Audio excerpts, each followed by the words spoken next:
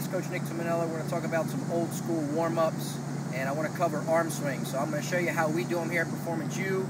It's a new tweak on an old exercise, and then I'll explain why we do it. So you may have seen, you know, everybody get in the gym and do this. That's still a fantastic exercise, at least in my opinion. Let me show you how to make it better. We're going to put a little body English in it. So it's kind of like an Olympic lift. Check this out.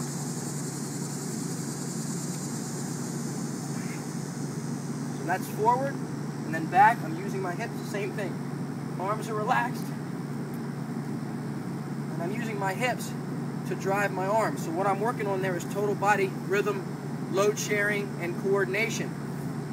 I'm allowing the momentum built through my legs to channel up through my body, come out my arms. So that's going to help you throwing your Olympic lifts, basically anything that you need to do from a standing functional position. So don't forget about some of the simple exercises that you may have learned in high school or middle school.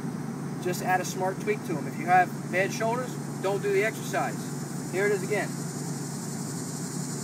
That's forward.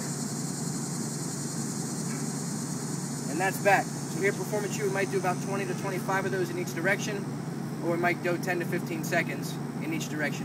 Either way you do it, it's a great exercise. As long as you have healthy shoulders, it's a good way to keep your shoulders healthy.